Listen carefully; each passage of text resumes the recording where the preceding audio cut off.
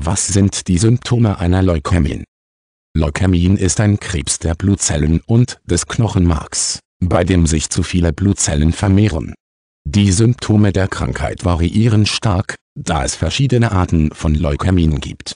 Außerdem unterscheiden sich die Leukämien-Symptome bei Kindern von den Symptomen bei Erwachsenen.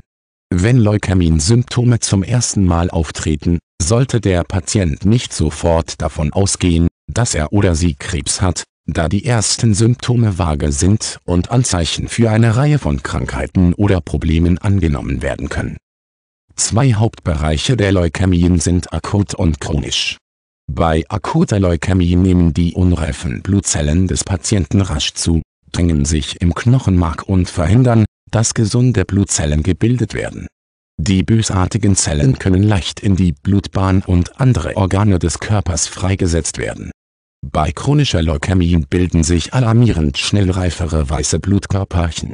Akute Leukämie tritt häufiger bei Kindern auf, während chronische Leukämien im Allgemeinen bei älteren Patienten auftritt. Frühe Symptome einer Leukämie treten bei Patienten mit akuter Leukämie wahrscheinlich häufiger auf. Symptome einer akuten Leukämie sind Fieber, Infektionen, Lethargie und Knoten im Nacken, in der Achselhöhle oder im Magen.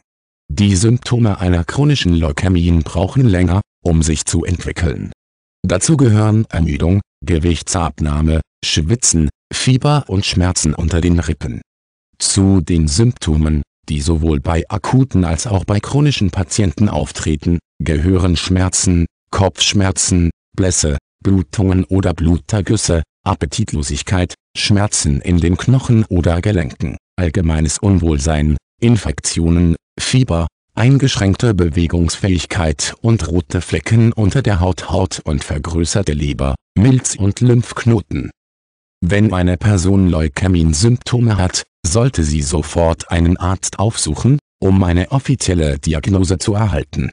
Das Auftreten einiger dieser Symptome weist nicht unbedingt auf Krebs hin, da sie sich auf eine Reihe von Krankheiten beziehen können, und es gibt keine spezifischen Indikatoren für Krebs, die ein Patient ohne Analyse eines Arztes identifizieren kann.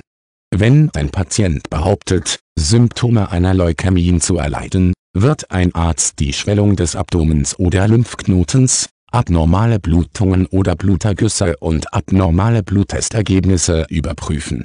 Eine Schwellung tritt auf, wenn sich eine große Anzahl von weißen Blutkörperchen in einer Körperregion ansammelt, während Blutergüsse und Blutungen durch zu wenige Blutplättchen verursacht werden, Blutzellen, die sich anhäufen, um Blutungen im Körper zu verhindern.